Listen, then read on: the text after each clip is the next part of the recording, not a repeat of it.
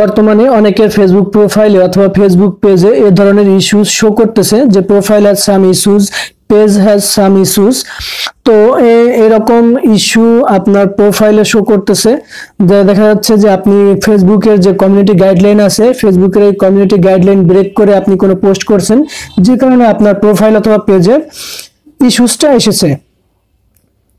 এখন এইখানে এই প্রোফাইল স্ট্যাটাস আপনি দেখতে পাচ্ছেন, আপনার প্রোফাইলে সাম সাম ইস্যুজ আছে এবং এখানে কপিরাইট দেখা যাচ্ছে যে আপনি যে পোস্টটা করেছেন সেই পোস্টে কপিরাইট আসছে। তো এই কপিরাইটটা আপনি এখন রিমুভ করবেন কীভাবে? আপনাকে তো এটা রিমুভ করতে হবে। যতদিন আপনার প্রোফাইল অথবা পেজে এ ধরনের ইস্যু থাকবে, আপনি কিন্তু মনিটাইজেশন অন করতে পারবেন না। সেটা আপনার পেজ হোক অথবা প্রোফাইল হোক। এখন এই ইস্যুগুলো কি কারণে আসে?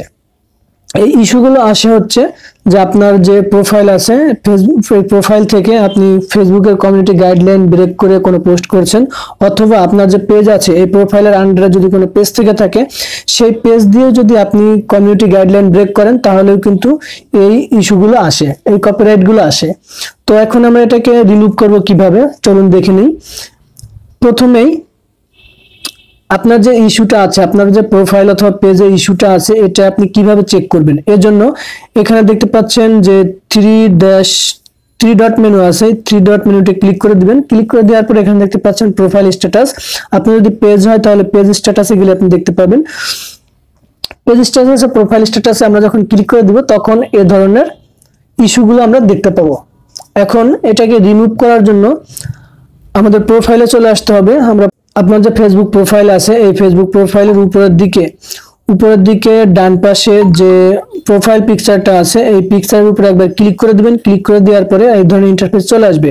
এখান থেকে আপনি নিচের দিকে একটু স্ক্রল করবেন। স্ক্রল করলে এখানে দেখতে পাবেন help and support help and সাপোর্টে একবার ক্লিক করে দিবেন। ক্লিক করে দেওয়ার পরে আপনি এখানে দেখতে পাচ্ছেন যে রিপোর্ট প্রবলেম রিপোর্ট প্রবলেমে একবার ক্লিক করে দিবেন। ক্লিক করে দেওয়ার পরে এখানে দেখতে পাচ্ছেন continue to report a problem এটাতে ক্লিক করে দেবেন। ক্লিক করে দেওয়ার পরে একটা লোডিং নিবে। লোডিং নেওয়ার পরে এ ধরনের ইন্টারফেস আসবে। এখান থেকে আপনি ইনক্লুডে ক্লিক করে দিবেন। ইনক্লুডে ক্লিক করার পরে এখানে অনেকগুলো অপশন আছে। এখান থেকে আপনি যদি প্রোফাইল থেকে অ্যাপ্লাই করতে চান, তাহলে প্রোফাইল সিলেক্ট করে দিবেন। যদি পেজ থেকে করতে চান পেজ সিলেক্ট করে দিবেন। আমরা প্রোফাইল থেকে করব, এজন্য আমরা এখানে দেখতে পাচ্ছেন প্রোফাইল এই প্রোফাইলে একবার ক্লিক করে দিব। প্রোফাইলে ক্লিক করে দেওয়ার পরে এখানে দেখতে পাচ্ছেন যে describe the issue upload from phone অর্থাৎ আপনার যে ইস্যুটা এসেছে, ওই ইস্যুটাকে আপনার স্ক্রিনশটটা এখানে আপলোড করতে হবে।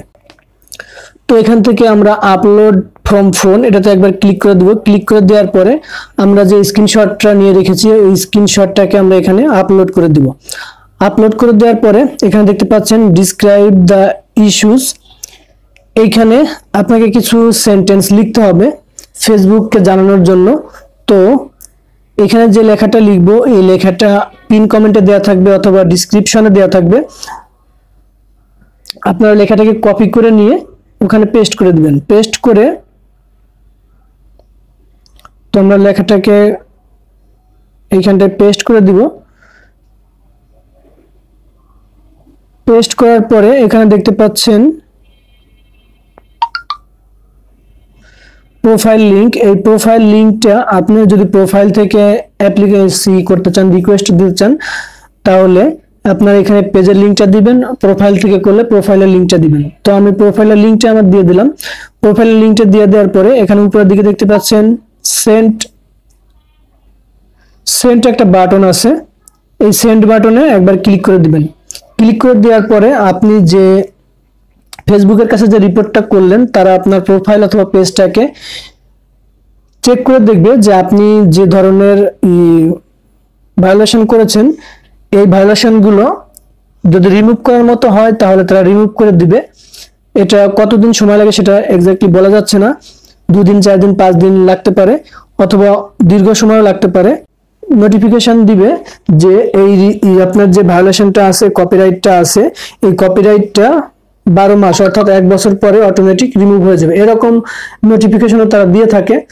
তো আপনার কপিরাইট ইস্যুটা যদি নর্মাল হয়, তাহলে তারা এখান থেকে আপনি যে রিকোয়েস্ট করছেন, এই রিকোয়েস্ট করার পরেই তারা রিমুভ করে দিবে।